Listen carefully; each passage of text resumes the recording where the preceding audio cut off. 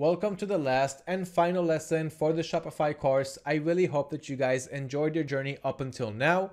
And just because this course is reaching its end, that doesn't mean that the same thing is happening to your dropshipping adventure. In fact, quite the opposite. And I'm sure that you guys already know that, but you're just in the beginning.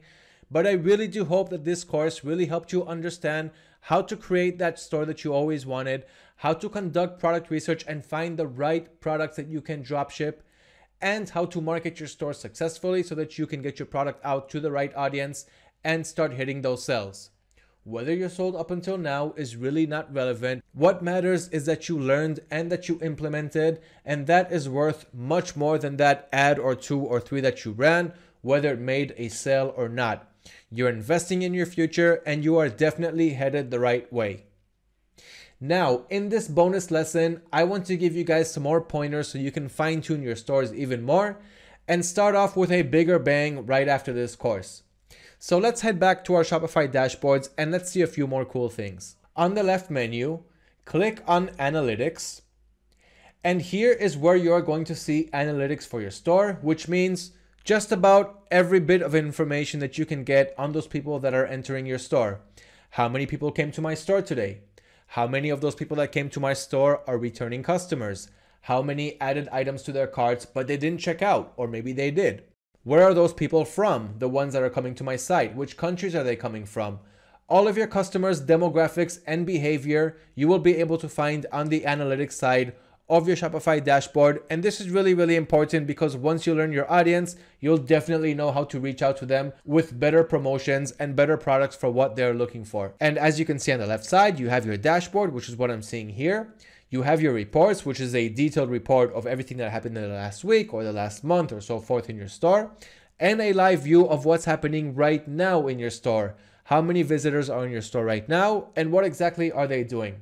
You can simply learn a lot from your customer's behavior and use that to your advantage. So check out the analytics for your customer behavior. Next, on the left side, click on discounts. Now this is where you can create a promotion code for the viewers in your website. If you create a discount code, just click over here on create discount code. What you can do here is give a name to your discount code and then your customers can use that promo code on your website when checking out to get some kind of a discount.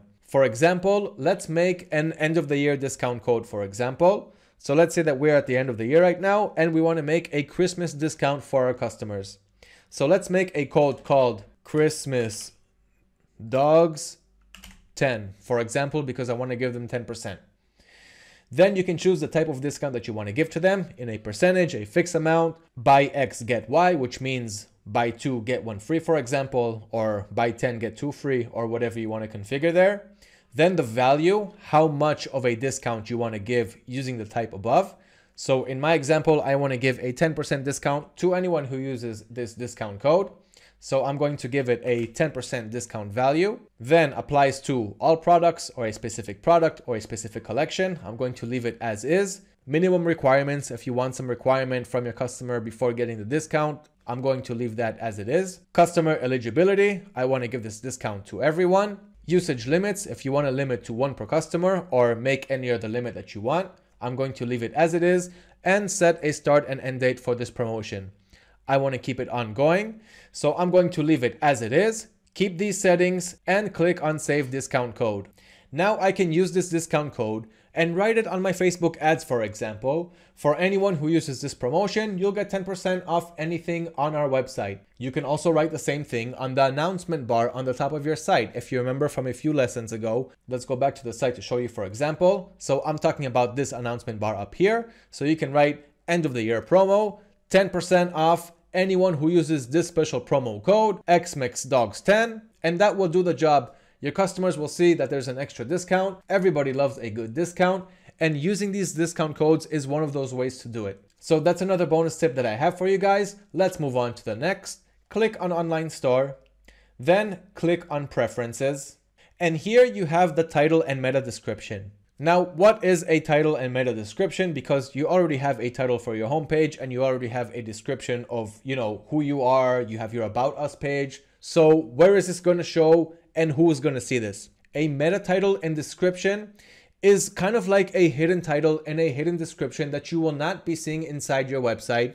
But if you share your website, for example, on WhatsApp or on Facebook Messenger or other chat platforms, notice that when you paste a link, you're also going to get a link preview of the link that you are sending that person. So your recipient will see the link's address, but they'll also see a title and a description on that message that you sent them.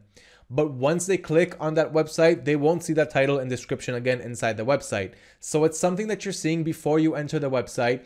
You can also see it on Google search when you search for anything and you see the website's results. So when you're seeing those search results on Google search page, you're actually seeing the meta titles and meta descriptions. Once you enter that site, you could see a whole bunch of different information that was different from what you saw before. So you do need a homepage title and a description for the meta description for people who are searching for your site before they enter it, you want to show them some good information about your site.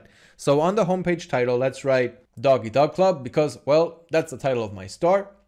And then the homepage meta description, your one-stop shop for all dog lovers. Spoil your dogs with our special high quality collection of pet products made specifically for your dog. So you can write anything, get creative, work on this for a couple of minutes. I'm just showing you guys a quick example. Next, you can also add your Google Analytics account. If you don't have one, it's easy to create one. Just go to Google, write down Google Analytics on the search, create your analytics account. It doesn't cost any money. And then you'll get a code from analytics to paste inside this text box over here. Once you paste that code and click on save, you'll be able to track your audience's behavior just as I've showed you on the analytics button over here on the left, just in a much more sophisticated way with much more audience behaviors and more information on your audiences. This is something that you can go ahead and do right now. It is not only at an advanced stage. Once again, Shopify's analytics is great but Google's Analytics is going to get you much more in-depth information. So once again, really quick, there's no need to demonstrate it because it's as simple as it sounds. Go to Google Analytics, create your free account. At the end of the account creation, you'll get a unique code to paste over here.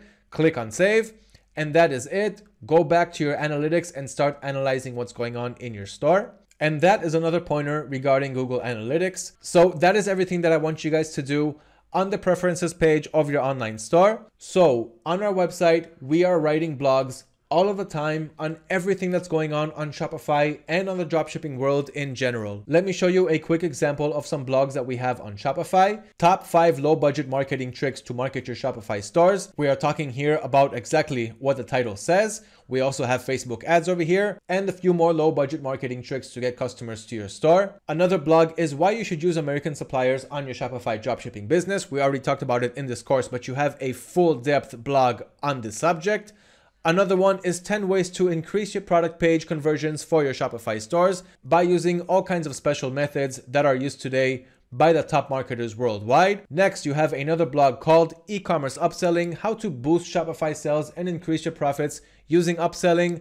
Upselling is one of the greatest techniques to add more products to your cart and increase your average order value. That way you're going to make more profits using cross-selling and upselling techniques, all of that in this in-depth blog that you have over here. And as you can see, there's also Shopify apps, which we recommend to install to help you with the cross-selling and upselling. And as you can see, these blogs are really deep and they're full of rich information that we are doing only for you guys. So use that to your advantage because it doesn't cost you any money and it's giving you a heck of a lot of knowledge, which is worth a whole lot of money.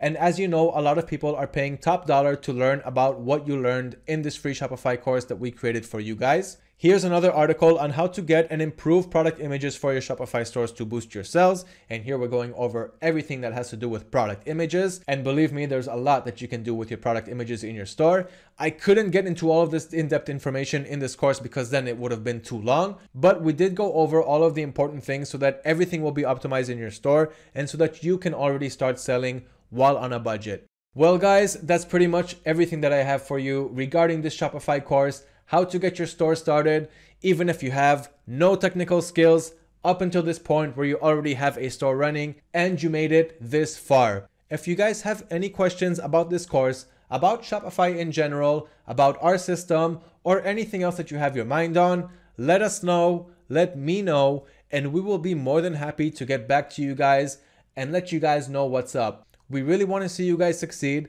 The best that we can do is offer you all of the tools that you need to go and get started, and that is exactly what we did in this course. So, best of luck on your dropshipping journey.